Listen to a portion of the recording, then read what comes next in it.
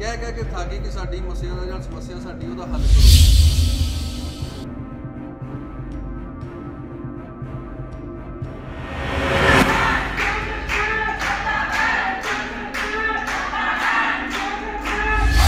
ਹੋ ਗਏ ਅੱਜ, ਲਗਾਤਾਰ ਆਉਂਦੇ ਨੂੰ। ਸਰ, ਤੁਸੀਂ ਵੀ ਉਦੋਂ ਮੌਕੇ ਤੇ ਸੀਗੇ ਜਦੋਂ ਖੋਖਰ ਸਾਹਿਬ ਨੂੰ ਮਿਲੇ ਸੀ। ਇਹ ਕਹਿੰਦੇ 5-7 ਦਿਨ ਵਿੱਚ ਮਸਲਾ ਹੱਲ ਹੋ ਜਾਊਗਾ। ਉਸ ਤੋਂ ਬਾਅਦ ਇਹਨਾਂ ਕੋਲ ਵੀ ਜਾਂਦੇ ਰਹੇ। ਉਸ ਤੋਂ ਬਾਅਦ ਸਿਖਾ ਭਗਤ ਮੈਡਮ ਆ, ਸਾਡੇ ਜੁਆਇੰਟ ਕਮਿਸ਼ਨਰ, ਇੱਥੇ ਅਸਿਸਟੈਂਟ ਕਮਿਸ਼ਨਰ। ਉਹਨਾਂ ਨੂੰ ਵੀ ਮਿਲੇ ਉਹ ਤੁਹਾਡੇ ਸਾਹਮਣੇ ਉਦੋਂ ਵੀ ਗੱਲ ਹੋਈ, ਸਾਰੀਆਂ ਭੈਣਾਂ ਉੱਥੇ ਅੰਦਰ ਵੀ ਗਈਆਂ। ਉਹਨੇ ਆਸ਼ਵਾਸਨ ਦਿੱਤਾ, ਆਪਣਾ ਹਫ਼ਤੇ ਦੇ ਵਿੱਚ ਵਿੱਚ ਤੁਹਾਡਾ ਮਸਲਾ ਹੱਲ ਕਰ ਦਿਆਂਗੇ। ਉਸ ਤੋਂ ਬਾਅਦ ਉਹ ਮਹੀਨਾ ਵੀ ਨਿਕਲ ਗਿਆ। ਡੇਢ ਮਹੀਨੇ ਤੋਂ ਬਾਅਦ ਫਿਰ ਮੈਂ ਦੁਬਾਰਾ ਕਮਿਸ਼ਨ ਮੋਦੇ ਨੂੰ ਮਿਲਿਆ, ਮੇਨ ਨੂੰ, ਅਭਿਜੋਤ ਕਪਲਸ਼ ਜੀ ਨੂੰ। ਇਹਨਾਂ ਨੂੰ ਵੀ ਇੱਥੇ ਲੱਭਦੇ ਹੀ ਨਹੀਂ ਸੀਗੇ। ਜਾ ਕੇ ਮੈਂ ਉਧਰ ਲੱਭਿਆ ਆਪਣੇ ਸਮਾਰਟ ਸਿਟੀ 'ਚ। ਸਮਾਰਟ ਸਿਟੀ 'ਚ ਮਿਲੇ। ਉਦੋਂ ਮੰਗ ਪੱਤਰ ਵੀ ਦਿੱਤਾ ਅੱਜ ਤੀਜਾ ਰਿਮਾਈਂਡਰ ਅੱਜ। ਆ ਤੀਸਰਾ ਰਿਮਾਈਂਡਰ ਹੁਣ ਦੇ ਚੁੱਕਿਆ ਚੌਥਾ ਅੱਜ ਚੌਥੀ ਵਾਰੀ ਫਿਰ ਧਰਨੇ ਤੇ ਆਏ ਆ।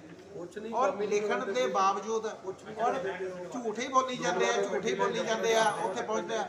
ਚਾ ਸਾਢੇ ਚਾਰ ਮਹੀਨੇ ਵਿੱਚ ਜ਼ਿਲ੍ਹਾ ਜ਼ਿਲ੍ਹਾ ਨਗਰ ਨਿਗਮ ਵੱਲੋਂ ਇੱਕ ਸਾਡੇ ਇਲਾਕੇ ਵਿੱਚ ਜੇਈ ਤੱਕ ਵੀ ਨਹੀਂ ਪਹੁੰਚਿਆ।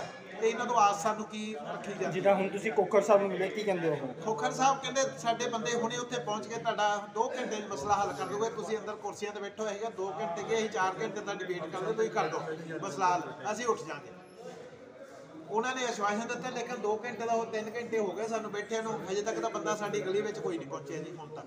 ਆ ਹੁਣੇ ਅਸੀਂ ਫੋਨ ਕੀਤਾ। ਆ ਸਾਡੇ ਚਾਰ ਜਦੋਂ ਤੱਕ। ਸਮੱਸਿਆ ਹੱਲ ਨਹੀਂ ਹੋਈ ਤੁਸੀਂ ਇੱਥੇ ਬੈਠੇ ਹੋਏ ਅਸੀਂ ਇੱਥੇ ਬੈਠੇ ਜੀ ਅੱਜ ਸਾਰੀ ਰਾਤ ਵੀ ਇੱਥੇ ਬੈਠਾਂਗੇ ਕੱਲ ਵੀ ਇੱਥੇ ਬੈਠਾਂਗੇ ਜਦੋਂ ਤੱਕ ਮਸਲਾ ਹੱਲ ਨਹੀਂ ਹੁੰਦਾ ਉਦੋਂ ਤੱਕ ਅਸੀਂ ਨਹੀਂ ਕਿਤੇ ਜਾਂਦੇ ਜੀ। ਆਪਸ਼ਨ ਦੇ ਅੰਦਰ ਜੀ ਦੇਖੋ ਵਾਰਡ ਨੰਬਰ 78 ਦੀ ਜੋ ਜਨਤਾ ਹੈ, ਕਹਿ ਕਹਿ ਕੇ ਥੱਕ ਕਿ ਸਾਡੀ ਸਮੱਸਿਆ ਦਾ ਜਾਂ ਸਮੱਸਿਆ ਸਾਡੀ ਉਹਦਾ ਹੱਲ ਕਰੋ। ਜਿਹੜਾ ਗੰਦਾ ਪਾਣੀ ਪੀਣ ਲਈ ਮਜਬੂਰ ਇੱਥੋਂ ਦੇ ਲੋਕ, ਤੁਸੀਂ ਦੇਖੋ ਆਉਣ ਵਾਲੇ ਸਮੇਂ 'ਚ ਡੇਂਗੂ, ਮਲੇਰੀਆ ਪੂਰੇ ਤੇ ਜੋਰਾਂ ਤੇ ਫੈਲਣਾ ਔਰ ਸਭ ਨੂੰ ਪਤਾ ਕਿ ਬਰਸਾਤਾਂ ਦੇ ਵਿੱਚ ਮੱਛਰਾਂ ਦਾ ਜ਼ੋਰ ਹੁੰਦਾ।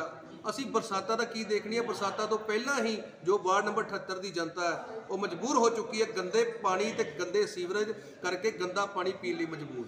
ਔਰ ਅੱਜ ਕਾਰਪੋਰੇਸ਼ਨ ਦੇ ਅੰਦਰ ਸਾਡੇ ਵਾਰਡ ਨੰਬਰ 78 ਤੋਂ ਸਾਬਕਾ ਕੌਂਸਲਰ ਜੋ ਜਗਦੀਸ਼ ਸਮਰਾਏ ਜੀ, ਉਹਨਾਂ ਦੇ ਨਾਲ ਉਹਨਾਂ ਦੇ ਇਲਾਕਾ ਨਿਵਾਸੀ ਸਾਰੇ ਪਹੁੰਚੇ ਨੇ। ਔਰ ਇਹ ਚਾਹੁੰਦੇ ਨੇ ਕਿ ਇੱਥੋਂ ਦੇਖੋ, ਪਹਿਲਾਂ ਤਾਂ ਕਮਿਸ਼ਨਰ ਸਾਹਿਬ ਦੇ ਜਿਹੜਾ ਦਰਵਾਜ਼ਾ ਹੈ, ਕਿਹਨੂੰ ਜਾ ਕੇ ਕੰਪਲੇਂਟ ਦੇਣ? ਪੰਜਾਬ ਦੀ ਜੋ ਸਰਕਾਰ ਹੈ, ਇੱਕ ਵਾਅਦਾ ਕਰਕੇ ਆਈ ਸੀ ਕਿ ਅਸੀਂ ਬਦਲਾਵ ਲਿਆਵਾਂਗੇ। ਬਦਲਾਵ ਨਹੀਂ, ਇਹ ਬਦਲਾ ਲੈ ਰਹੇ ਹੈ ਪੰਜਾਬ ਦੀ ਜਨਤਾ ਦੇ ਕੋਲ।